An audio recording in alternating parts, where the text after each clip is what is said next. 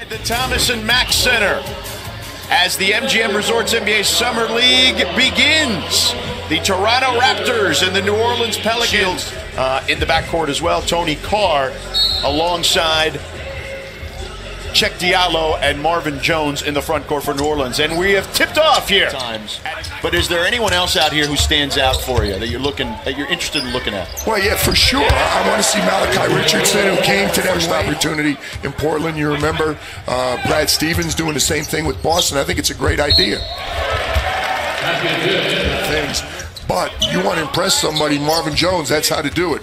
Blocking shots and playing defense. Marquis Teague with the scoop hoping they get an invitation back in the fall for training camp. So uh, different players, guys who were G League players or two-way players, uh, competing for spot. There's no question they're, they're, they're going to start playing those young guys, and I think Tony's got a chance to be uh, a, a, bigger chunk of what's going on in Charlotte. Uh, reportedly, a two-year, ten million. It's about playing time and the role he's going to go. Gotcha. And you also don't, you know, don't short sell the fact uh, the new head coach in Charlotte, James Borrego, longtime Spur assistant. So there's a relationship there.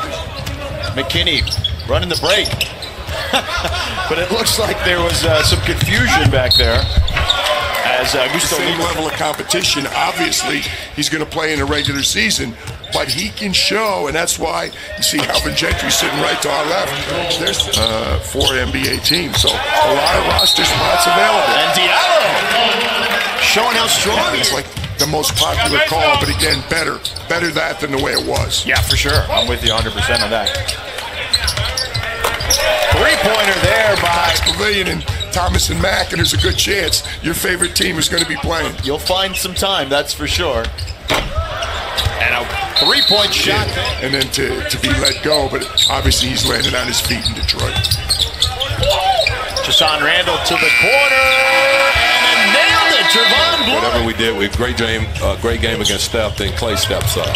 Then Steph steps up. Then Draymond steps up. So it's, it's, it's really tough playing those guys. Yeah, and you're certainly familiar with what those guys yes, can yes, do, having been on that staff before. Yes, uh, uh, he works so hard and he's uh, built his body up so much. You know, that's the thing that I really uh, like about him. He's been a hard worker that they have there. Alvin, it's, it's strange because he was drafted obviously uh, over a year ago. Frank Jackson really his first uh, his first basketball first chance for you.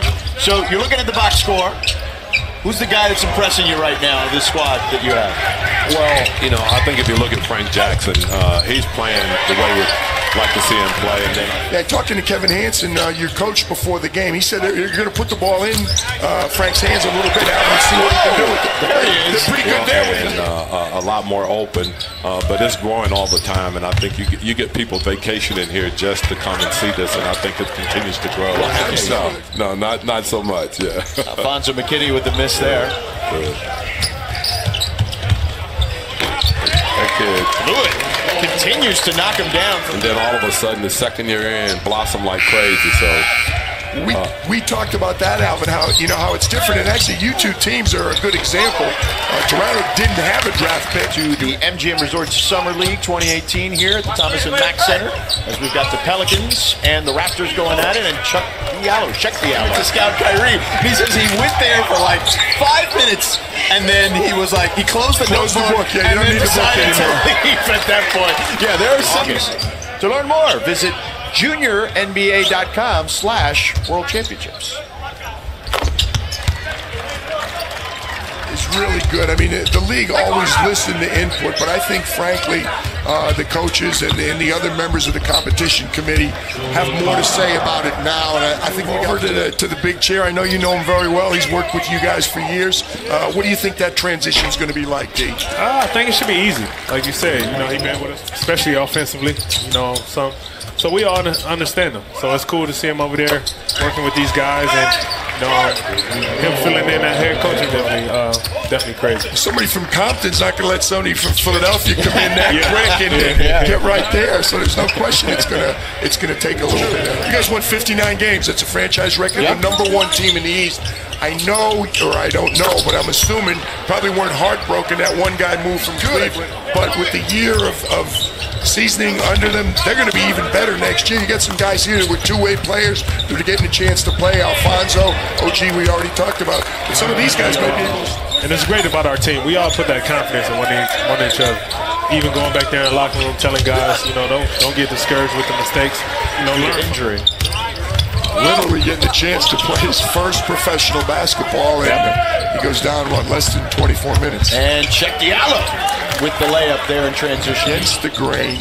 Uh, traditionally, over the years in summer league, it's it's a veteran team. It's a team with a lot of first and second year players that dominates. It's not always the team with the youngsters, but uh, Los Angeles last year was the story, and uh, uh, Kuzma and Lonzo Ball uh, lived up to their Oh, reputations doubt. and No set doubt. the stage for that team. About it. Might have been the two biggest surprises of the year. Agreed, but I mean, you watch Kyle Kuzma early, you knew he was going to have a good year. Maybe not quite the year that he did. I'm surprised. He, you know, he was excellent. Of the James 100 votes. Dennis Smith was, good. you know, they were all very, very solid. Contested shot there by Shevon Thompson. But this group's easy, uh, you know, different, George, I think, because you got so many bigs. Uh, it's a very good draft class again, but a lot of size. We talk about the league going smaller and stretch fours and stretch out. Somebody else gets an opportunity. We'll see what's going to happen. But uh, poor Frank Jackson, he's had way too much bad luck on the injury front. Yeah, and as we mentioned earlier, Shaq, I hope that was a pass. I'm not sure what that was there from Cheick Diallo. I don't know. I don't know either. Uh, Trevon Bluiett, by the way, is leading the way now on the benches. Shevon Thompson in the post against Derek Willis. Goes to the left hand, gets it. Good job. He got his seven in a red jersey, Yep. so I think it's you.